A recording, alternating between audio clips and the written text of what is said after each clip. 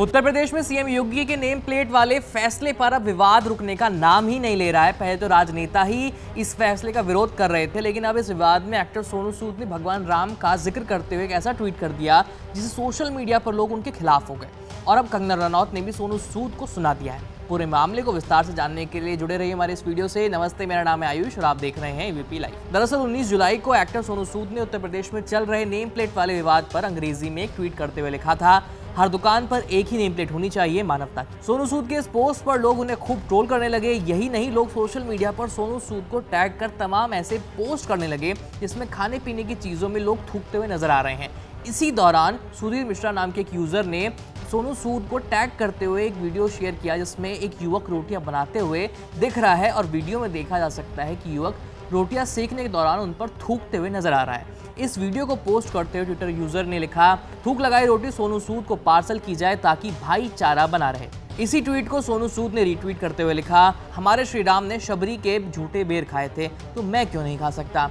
हिंसा को अहिंसा से पराजित किया जा सकता है मेरे भाई, बस मानवता बरकरार रहनी चाहिए। जय श्री राम।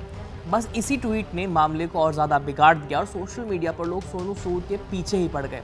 इसके बाद इस मामले में एक्टर और बीजेपी सांसद कंगना रनौत की एंट्री भी हो गई। कंगना ने सोनू सूद के मानवता वाले ट्वीट पर भी रिएक्ट किया था और अब कंगना ने सोनू सूद को इस ट्वीट में तो जमकर सुना ही दिया।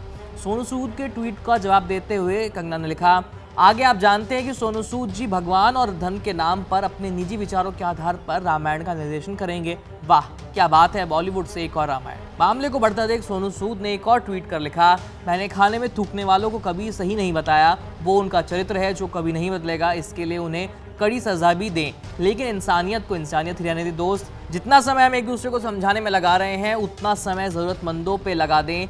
वैसे आप सबके लिए बता दूँ, यूपी सरकार के काम का मैं सबसे बड़ा प्रशंसक हूँ। यूपी बिहार का हर घर मेरा परिवार है, याद रहे, राज्य सरकार, धर्म, कोई भी हो, कोई ज़रूरत रहे तो बता देना नंबर वही है। एक्टर के इस ट्वीट से सोशल मीडिया पर अब बहस छिड़ गई थी तो ये पूरा मामला भी यूपी सरकार के एक अहम फैसले के बाद लाइमलाइट में आया। हाल ही में यूपी सरकार ने फैसला लिया है कि कावड़ यात्रा के दौरान दुकानदारों को दुकान के सामने अपना नाम लिखना होगा और ये बताना होगा कि वो क्या चीज़ें बेचते हैं। खैर इस पूरे मामले पर आपकी क्या राय है हमें कमेंट करके ज़रूर बताइए और देखते रहिए लाइव मेरा नाम है आयुष। धन्यवाद। For exclusive and insightful videos, subscribe to our new channel ABP Live Premium.